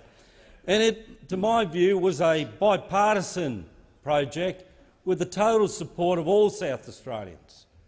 And, and to see today people playing politics and trying to get a political advantage out of what is you know, a disappointing decision, something that is going to delay the further development of our great state, is quite, uh, you know, I'm quite uh, dissatisfied with that. I see people taking a short-term political advantage uh, over what should be a bipartisan approach to get this, uh, this project up and over the line. I mean, the development phase was four years to, to dig down up to 500 metres to expose the, the ore burden. But I suppose it's worth putting directly on the record some of the things that have been said, and it is really important that BHP has recognised that the South Australian government has been fully supportive of the Olympic Dam project and has created an environment that is highly conducive to business Order. investment. We have been very much encouraged by their attitude to business development and the Olympic Dam expansion project. I know that Tom Koutsantonis, Premier Weatherill, moved every, uh, every effort and moved every obstacle in the path of BHP's decision. Let's be fair income about this. This is about the future of South Australia. Order. Let's be fair income. There is not a politician representing South Australia that would do anything in their electoral and in their power to make this project go ahead. But if iron ore is 113 US dollars a tonne, and it used to be 180 US dollars a tonne, if BHP has had a 34 per cent reduction in profit, if they have made some decisions worldwide which have cast into doubt their ability to expend $80 billion worth of capital right around this country and across the world, then don't be coming in here and saying it's Minister Wong's fault. Don't be coming in here and saying it's all the Labor Party's fault. This is a global, multinational business that, quite frankly, makes its decisions independently and irrespectively of most of the place of governments where it deals. It has a, a, uh, a responsibility to its stakeholders and shareholders to define their longer-term development plans. This is a unique, world-class ore body. As I said at the outset, copper particularly is in South Australia's DNA. Burra mines underpinned the development of the state. They stopped it from going bankrupt at one stage. It is my view that this BHP decision is a setback, a dramatic setback, but it's not the end of the journey. The ore body is still there. It is world-class. The, the, the statements about industrial problems is absolutely ludicrous. There have been no impediments to a 24-hour a day, seven-day a week efficient operation at Olympic Dam. Senator Edwards. Thank you, Mr Acting Deputy President. I rise to take note of answers given by Senator Wong uh, to questions asked by Senator Brandis, Cormann, Birmingham and Bernardi. Uh, it is, uh, before I do, I just uh, don't go, Senator Gallacher. Uh, I just must refer to your comments about uh, the Burra mine saving the state from bankruptcy. I hope those uh, words aren't prophetic about the current uh, state of affairs, uh, because, as you well know, South Australia has a $13 billion debt, uh, which I'm sure that Senator Farrell has now run out to ring up Peter Malinauskas to uh, start giving him his writing instructions to the Premier and the Treasurer of South Australia about uh, how they're going to recast their budget uh, in light of this decision, which for some reason has come as some complete shock until yesterday. This has been the worst kept secret in South Australia. I, I refer you to a, uh, a, breakfast radio program on 5AA this morning with Keith Conlon and John Keneally. A note from a caller, and I quote, and to all the people out there listening, uh, Roxby is where Olympic Dam is. I worked up at Roxby on the expansion. My crew was demobbed on the 21st of July. That's about a month now, and we were told that BHP are delaying the expansion. I tried to contact the local federal ALP member, Nick Champion, but his office fobbed me off and claimed that I didn't know what I was talking about. It was just speculation. I told the guy there this was real. I was working there. I was happy there. I did nothing wrong. And now I'm unemployed. And that is the sentiment of what we're hearing now, uh, as you would be, as you say, Senator Gallacher, you travel around South Australia as I do, but we are hearing, as are you, that there's been 600 jobs lost in Roxby Downs over the last two months. Now, I must refer to Senator Farrell's comments. He talks about the, the cost of mining in this country. The high costs have driven BHP away from this decision. Well, as, uh, as we know, profits up, which has driven wages growth. So what's going to happen now? What is going to happen now? We've got profit up, wages up. That's the scenario Senator Farrell put to us, and that's what's driven BHP away from this project. What's now? Profit down? Wages down? No, I don't think so. And what have we got? We got, as Senator uh, uh, Fawcett and uh, Birmingham uh, raised earlier, 3,500 workers on strike, BHP workers on strike in the Bowen Basin as recently as May this year. You've got to understand that this has been the worst kept secret in corporate Australia. I mean, what, what BHP's share price up until two weeks ago was sliding down and down and down and down until such time as the corporate market realised, well, they're, they're not going to go ahead with this. They're giving us a nod and a wink in the marketplace that they're going to announce at this time that they're not going to go ahead. Well, what's happened to the share price since? It's gone up. And again today, the share price of BHP has risen on the strength of this announcement.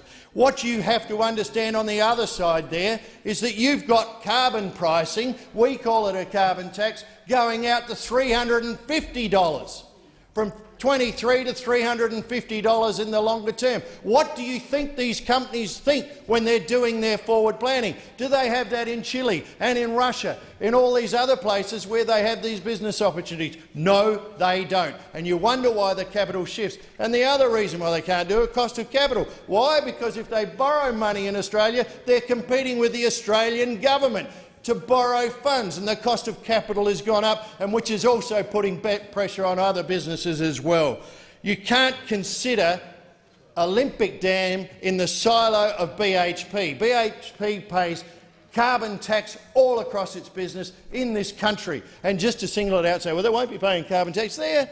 That's just like trying to say, well, I'll sell uh, milk bottles and snakes in my confectionery store, and we, we you know, we'll, we'll put all those in a profit silo each. You just can't do it. You take the money out of the till at the end of the day, and that's what it's all about. I don't know how Premier Weatherill is now going to task this, uh, this debt that he's got. I'm sure that he'll be calling on his Labor colleagues now, but he should have done that well before now and have told all of you South Australian Labor senators that this tax is not sustainable and it's going to continue to bring down our economy. The, Senator Rhiannon. Uh, it's not on this matter. Um, Mr. Okay, we'll, we'll put the question first. The, the, question is that the motion moved by Senator Bernardi be agreed to. All those in favour say aye. Those against say no. The ayes have it. Senator Rhiannon. Mr Acting Deputy President, I wish to um, take note of the comments made by Foreign Minister Mr uh, Senator Carr. Is leave granted? Leave's granted. Senator. Uh, thank you very much. Uh, the response from the minister to the question that I put about the um, if aid money will be used to uh, in any way for the detention centres that um, are, are earmarked for Manus Island and Nauru uh, certainly left open the possibility, um, the way his response was phrased, talking about the tangential, tangential use of the money, uh, I did find concerning. The foreign aid budget is the most, impo most a very important part of our budget and clearly earmarked to relieve poverty, world poverty, and also um, very specifically in terms of addressing the Millennium Development Goals. Now, this is an area where there is so much work to be done to hear that some of that money that uh, I believe the majority of Australians understand will be used by the government in partnership with uh, governments in low-income countries, various multi, uh, uh international finance institutions and multilateral development agencies such as the Asian Development Bank and the um, Food and Agricultural Organisation and many other bodies that I believe the public would expect that the money is being used directly by Australia or with such bodies to assist people. Now, sometimes aid projects may have a bit of a question mark over them, but certainly that's what they're um, set out. The foreign aid budget is about assisting people and the environment in low-income countries, and that's how that money should be spent. To divert that money to um, build the detention centres on Nauru and Manus Island, uh, I think is a betrayal of the trust of the Australian people, their, um, th their understanding of how um, government processes work. That, uh, yes, the government has been successful because it was able to uh, work it out with the coalition and come forward with this very damaging legislation about refugees. Uh, but to now uh, uh, to misuse money in the aid budget uh, really furthers the damaging aspects of the legislation that was passed a couple of weeks ago. In Papua New Guinea itself, it's one of the countries with the highest rate of AIDS, malaria, uh, the violence against women is extreme. Just in the past two mornings in this place, we've had uh, breakfast with uh, people working in the aid area who are doing fine work. And what constantly comes up when you talk to them is the need for there to be greater allocation of, the, of money from the budget of a country like Australia to meeting our international obligations. It was actually back in the 1990s when uh, the former Prime Minister John Howard was in office he actually gave the commitment to the Millennium Development Goals, which were clearly linked to Australia reaching 0.7 per cent of its aid budget, 0.7 uh, per cent of GDP to be allocated to the aid budget. And that still to this day hasn't been achieved, and we saw that the Australian government, um, in the most recent budget brought down by the current government, uh, further backed off on moving towards increasing the aid allocation. So it's going to increase at a much slower rate than we expected. The 0.5 per cent allocation expected by 2015 now um, has blown, blown out by a number of years. So then to further hear that the, that money that is so important to address um, health, health and education issues for people, uh, particularly in our own region in developing countries, uh, to address water sanitation, um, female participation, improve, assist uh, these countries in improving their democratic processes. And we're losing some of that budget that is so important that it goes on these programs um, on the detention centres that are just so damaging to the people who are attempting to escape very oppressive, difficult lives. They've got a right to come to this country. Now they're going to be forced to go to these detention centres and we're misusing our aid budget. So I did find the response from the minister very troubling. Thank you, Mr Acting Deputy President. The question is the motion moved by Senator Rhiannon be agreed to. All those in favour say aye. Those against say no. The ayes have it. The ayes have it. Minister. Thank you, uh, Acting Deputy President. I seek leave to incorporate uh, Senate uh, questions without notice, which has provided additional answers by Senator Conroy uh, to uh, Senator Madigan. Is leave granted? Leave is granted. Uh, in additionally, I table the Bald Hills Wind Farm bat an avifauna management plan. Thank you. Next matter on order of business, are there any ministerial statements? No. Then we move on to presentation of other documents.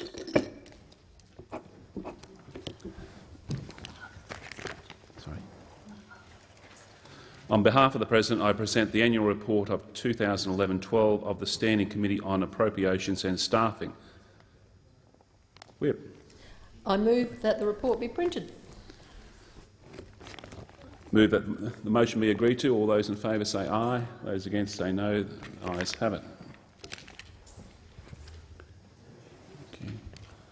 On behalf of the President, I present the report of the Australian parliamentary delegation to the United States of America, which took place from 27 September to 29 October 2011. I also present the report of my official visit to Peru, which took place from the 24th to the 26th of September 2011.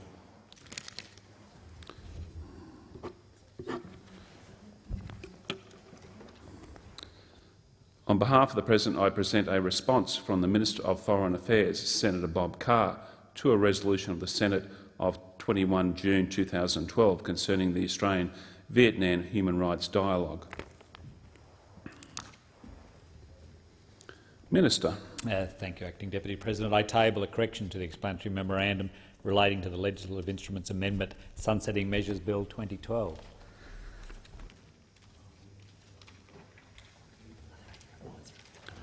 Are there any reports from committees? Senator McEwen. Thank you, Mr Acting Deputy President. Uh, on behalf of the Joint Committee of Public Accounts and Audit, I present two reports of the committee as well as executive minutes on various reports, and I seek leave to move a motion in relation to the reports. Is leave granted? Leave is granted. Senator McEwen. Uh, I move that the Senate take note of the reports. The motion is that those reports be agreed to. All those in favour say aye. Those against say no. The ayes have it. Senator McEwen. Thank you, Mr Acting Deputy President. On behalf of Senator Polly, I present a corrigendum to the report of the Finance and Public Administration Legislation Committee on the Government Investment Funds Amendment Ethical Investments Bill 2012, uh, 2011, tabled today, and move that the document be printed. Question is the motion be agreed to. All those in favour say aye. Those against say no. The ayes have it. The ayes have it. Are there any documents to be presented by the clerk? Clerk. Documents are tabled pursuant to statute. Details will be recorded in the journals of the Senate and on the dynamic red, and a letter of advice is tabled in accordance with the continuing order on departmental and agency contracts.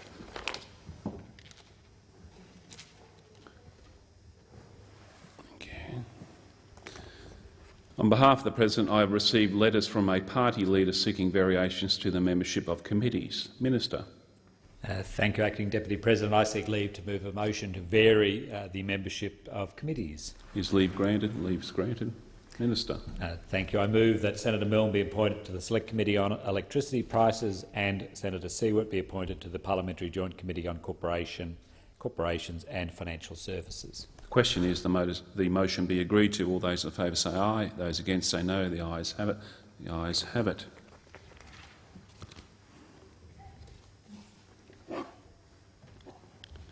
Sorry. Clerk. Business of the Senate, order of the day number four. Resumption of debate on a disallowance motion moved by Senator Whish-Wilson in relation to the small pelagic fishery total allowable catch quota species determination. Senator Ludwig. Thank you, uh, Acting, Acting, Deputy President. As I was saying, uh, Dr Daniel Pauly of the University of British Columbia has recently ranked Australian fisheries second out of 53 countries for environmental sustainability. A report by the United Nations Food Agriculture Organisation also recognised Australia's effective fishing management, particularly our actions to rebuild overfished stocks. Australian fisheries are not the fisheries of Europe or of Africa, or even of those of New Zealand. Some of the comparisons that have been raised in this debate between the proposals of an Australian business and Australian independent fisheries management with statutory obligations are frankly uh, unnecessary and to some degree alarmist. The Australian Bureau of Agricultural and Resource Economics and Science, ABARES, uh, 2010 fisheries status reports shows the results of the continued effort we have taken to guarantee we have healthy fish stocks. The report shows that 2005, 24 stocks were classified as overfished and or subject to overfishing, and 2010 that number had fallen to just 13 stocks. In addition, the proportion of stocks whose status is uncertain has nearly halved since 2007 as a direct result of the policies uh, of this Gillard Labor government. Turning to the small pelagic fishery, which uh, seems to have uh, raised uh, people's uh, concern. This debate has focused on uh, that fishery, the small pelagic fishery, as this is where Seafish Tasmania has said it intends uh, to exercise its fishing entitlements. The small pelagic fishery is based on a strong precautionary principle in the setting of catch limits. Under the harvest strategy for this fishery, the catch limits is capped at a maximum of 20 per cent of the estimated available biomass, which takes into consideration both the species, productivity and the broader ecosystem impacts. Uh, this is a very conservative limit when compared to similar stocks uh, in international uh, fisheries. Even with that cap, the current management plan sets the quota to less than 10 per cent of spawning biomass estimates, leaving 90 per cent uh, in the ocean. These stock limits are based on science and, and assessed by uh, the experts. Uh, the arrangements meet or exceed the most rigorous scientific uh, requirements for an ecologically sustainable fishery of this kind and takes the precautionary principle uh, to uh, the appropriate level. Uh, many speakers in this debate have noted a paper released this week by some of Australia's top fishery scientists from the Institute of Marine and Antarctic Studies, the South Australian Research and Development Corporation and the CSIRO Wealth from Oceans National Research, Research uh, flagships. In this report, the scientists make it clear that the settings in the small pelagic fishery are conservative by world standards and sustainable for the environment. For the issue of localised depletion, the report states that the measures in place in the fishery, and I quote, taken together give confidence that the food web impacts of the SPF on predators and the SPF species themselves, including through localised depletion, are unlikely. End of quote. AFMA manages fisheries in real time, and AFMA has the power to take immediate action uh, if and when required. And as uh, I have stated, I'm frequently reminded by commercial fishers how seriously AFMA takes uh, its responsibilities in all its fisheries. Turning to the uh, FV Margiris, I'll now turn to the issue of the proposed midwater trawler itself. It's helpful for the Senate uh, to uh, understand that there are a number of steps involved in bringing a fishing vessel uh, into Australia and using it as uh, using it in an Australian fishery. In the first instance, a ship must be recognised as an Australian vessel. Uh, presently, Seafish Tasmania has uh, begun an application for the FV Margiris with the Australian Marine Safety Authority in order to be flagged as an Australian vessel. There are a range of steps that, that AMSA is required to undertake to grant that status. Next, every Australian fishing vessel seeking to operate in Commonwealth fisheries is required to be approved by AFMA. To date, AFMA has not received an application by the company Seafish Tasmania for that vessel to operate in Commonwealth fisheries. The FV Margiris would be, uh, should it uh, uh, ask, be required to adhere to the strict management arrangements for the SPF including carrying an AFMA observers on board to monitor fishing activities and using bycatch mitigation equipment such as seal excluders, uh, devices, logbook reporting, satellite vessel monitoring systems and mandatory reporting of any, of any interactions with protected species. Obviously, there are other regulations that apply to fishing in Australian waters, one of which being the enforcement of the Commonwealth Marine Reserve regime. Uh, this disallowance motion being moved by the Greens uh, is uh, misplaced uh, and does not address uh, and, in fact, uh, can quite rightly harm fishing across the Australian Commonwealth waters. Senator Siewert last night stated that she couldn't remember a time when recreational fishers stood side by side with her uh, on an issue. Well, for the record, there was a time when the Greens and ENGOs stood for output controls and moved away from output, uh, from gear restrictions in fisheries management. What they did was uh, uh, the disallowance, uh, in fact, in that area, uh, when uh, they wanted to move to ensuring that we had output controls which we now have in place, which deal with the sensible way of determining through independent experts total allowable catches for fishers, rather than uh, the size of a boat, the gear it uses, the effort uh, that it might have, in other words, gear restrictions types, because uh, everyone recognised that that type of operation, where you then regulated the gear itself, was uh, no longer relevant for today. So turning to this disallowance motion uh, is a message that the Greens political party doesn't support sustainable catch limits based on science. It's a message that the Greens want fisheries managed by politics, not qualified fishers managed, uh, fisheries managers, and it says that the Greens do not support the commercial operators who fish in some of the world's uh, best managed uh, fisheries. That message should be well understood because I've no doubt that the same disregard for the science and management of our commercial fishers uh, will be extended to the legitimate pursuit of recreational fishers. As Minister for Fisheries, I'm not going to allow the emotive politics of the Greens political party to run fisheries management policy in this country. We will ensure that the Australian Fisheries Management Authority uh, is independent. It makes independent decisions based on the science through its expert uh, commissioners and on the facts that are presented to them and on the science. Uh, they will continue to make uh, sound judgment on our fisheries to ensure that they are sustainable, ecologically uh, uh, meet uh, all the requirements, and more so, it's predicated on the, the precautionary principle which is espoused by the Greens so often.